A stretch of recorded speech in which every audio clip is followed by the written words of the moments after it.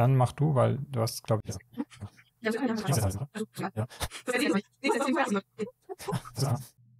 Wir brauchen hier länger, um zu bestimmen, wer anfängt und als die ganze Folie dauert. Willkommen bei Easy Immunology. Jetzt hast du doof geguckt. Ja, natürlich habe ich doof geguckt.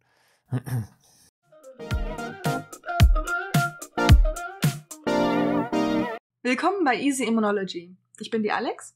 Und ich bin der Stefan und heute wollen wir uns im zweiten Video zu Typ-3-Allergien ansehen, wie systemische Typ-3-Reaktionen entstehen.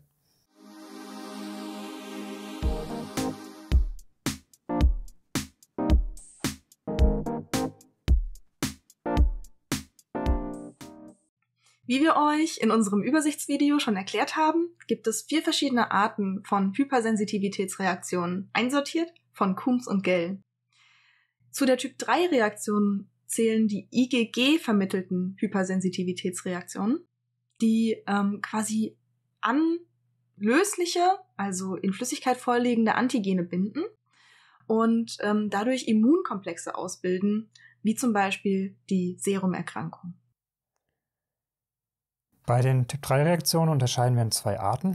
Äh, haben wir im letzten Video auch schon mal äh, gesagt. Es gibt eben die lokalen, wo sich die allergische Entzündung dann auf einen Teil unseres Körpers begrenzt und es gibt eben die systemischen, wo der ganze Körper betroffen ist. Und das letzte Mal haben wir über die lokalen Reaktionen schon geredet und heute wollen wir eben über die systemischen reden.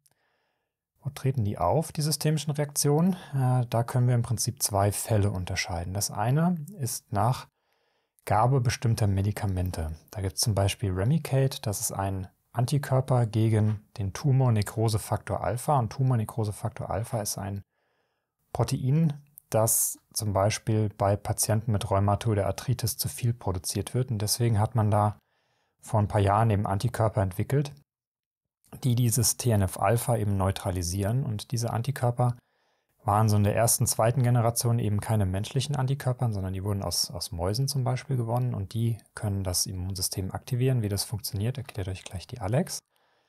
Und ich zeige euch noch den zweiten Fall. Das ist nämlich nach äh, Biss oder Injektion von Giften von zum Beispiel Schlangen, Skorpionen, äh, Spinnen oder auch Zentipeden. Das sind so große äh, Hundertfüßer, die durchaus schon so lang werden können und das muss äh, höllisch wehtun, wenn die einen beißen. Und äh, was die eben machen, ist euch eben Gift injizieren. Und was da passiert, immunologisch erklärt euch jetzt die Alex.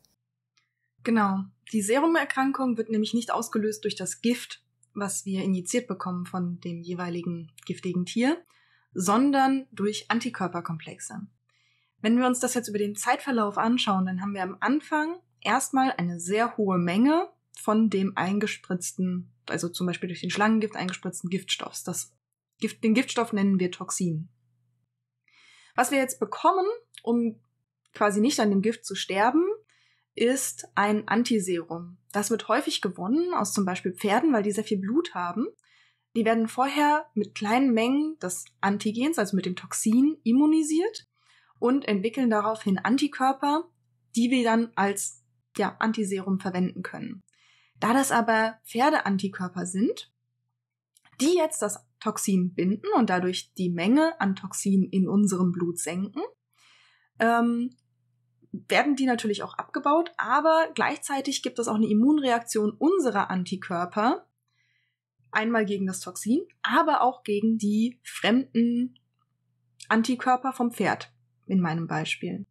Und was jetzt passiert ist, dass unsere eigenen Antikörper gegen die Pferdeantikörper binden und es einen sogenannten Antikörperkomplex gibt. Und diese Antikörperkomplexe, die lösen eine Entzündungsreaktion aus, die einmal systemisch sein kann, also zum Beispiel Fieber, ähm, Blutdruckabfall, Arthritis kann ausgelöst werden oder auch die Nieren können geschädigt werden. Und ähm, dabei sieht man quasi auch am ganzen Körper diese Entzündungsreaktion. Also man würde sie quasi auf inneren Organen sehen, man würde sie auf der Hautoberfläche sehen und so weiter.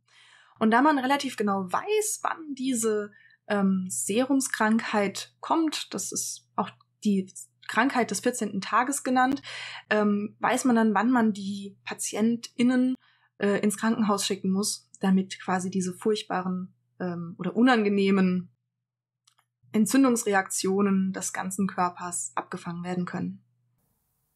Ja, also das passiert eben an Tag 14 normalerweise, so ungefähr.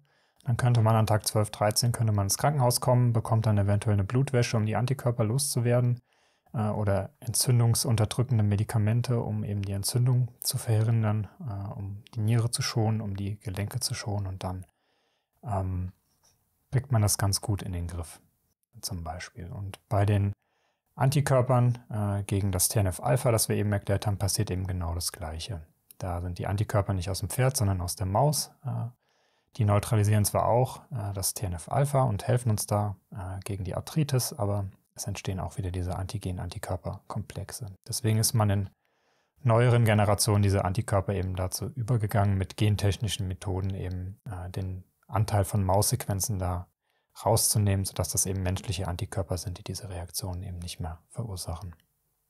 Wenn man jetzt statt diesen Pferde-Antikörpern oder den Maus-Antikörpern menschliche Antikörper bekommen würden, zum Beispiel weil eine bestimmte giftige Art von Tieren üblich ist in der Kultur oder in dem Umfeld, dann würde man quasi diese, gegen diese anderen menschlichen Antikörper keine Immunreaktion und dadurch auch keine Serumerkrankung ausgelösen in seinem Körper.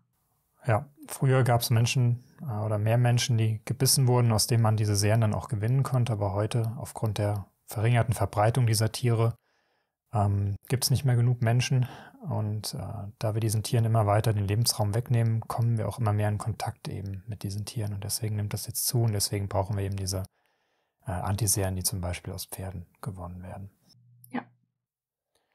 Damit sind wir durch für heute. Wir hoffen, ihr habt was gelernt über systemische Typ-3-Reaktionen. Wir danken euch fürs Zuschauen. Wir wünschen euch alles Gute und äh, bis zum nächsten Video. Tschüss. Tschüss.